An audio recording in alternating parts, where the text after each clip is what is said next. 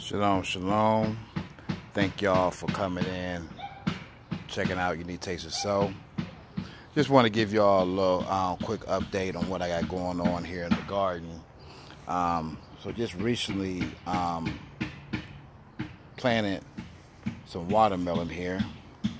I got some all sweet planted out through here.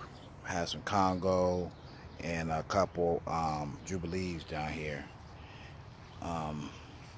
Over in this section right here, I got some basil over there.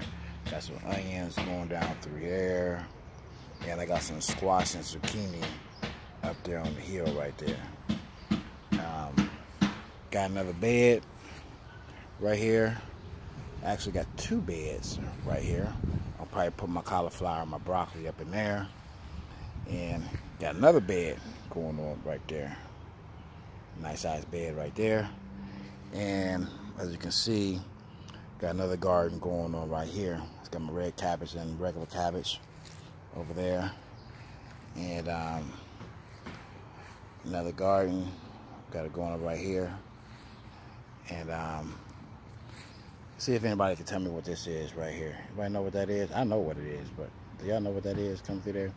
Look, I have a busting through actually my um, fence netting right there. Another one right there. Got my Brussels sprouts, my kale, my spinach, my um, peppermint, sweet mint, and my thyme going on over there. So, like I said, I just wanted to bring y'all in for a quick view what's going, what I have going on. So, until next time, need to say so. Sign out. Peace. Shalom.